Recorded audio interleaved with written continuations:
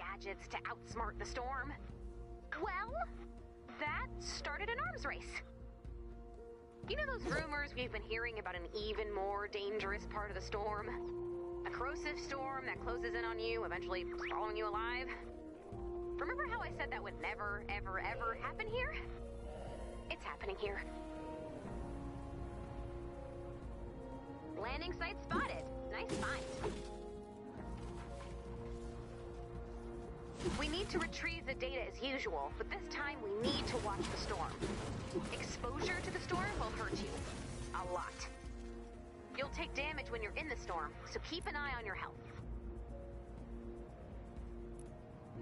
We need to retrieve the data before we're overwhelmed by the storm. So you'll want to move quickly. We only have 20 minutes. Keep an eye on the storm's movement on your map.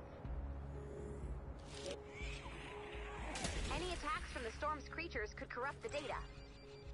You'll want to build defenses around the balloon's landing site.